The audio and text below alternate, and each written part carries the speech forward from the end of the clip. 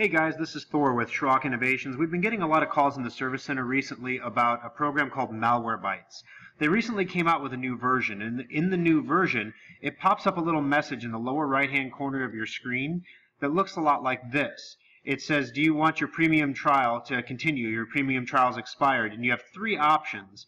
None of the options are, hey, don't ever bother me again. And as a result, no matter what you click on this, unless of course, you know, you take the top one here and spend the money, um, you're going to get this pop up two or three times a day, and it's really, really annoying.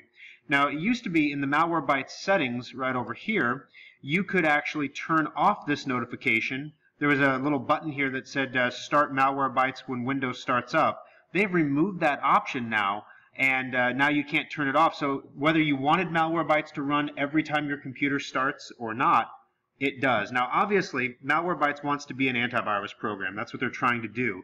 But I already have great antivirus. I've got Symantec Endpoint. I'm good to go.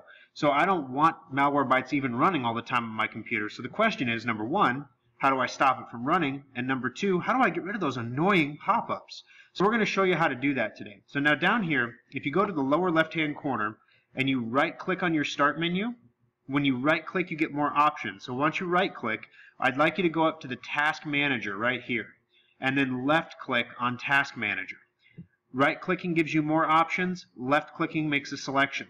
So now across the top of the Task Manager, there are a series of tabs here. We're looking for the Startup tab right here. So we click Startup, and if you click on the word name here, you can actually sort this list by name, which makes life really easy because you can find Malwarebytes really quickly. Now, as you can see on my computer, I've already disabled Malwarebytes, and that keeps it from starting up when my computer starts. That's why we disable it. So I'm just going to enable it here just so I can show you how to do it. You right-click anywhere on this selection, and then you left-click on Disable. And now you'll notice here it says Disable. So when you restart your computer now, Malwarebytes will be disabled, and your computer will be able to, you can run Malwarebytes anytime you want, and if you ever want it to go away, to stop popping up, all you have to do is restart your computer to get it to stop again. All right. Well, if you liked the video, give us a review on Google or Facebook. Let us know. If there's anything we can do different, let me know as well, and we'll see you soon.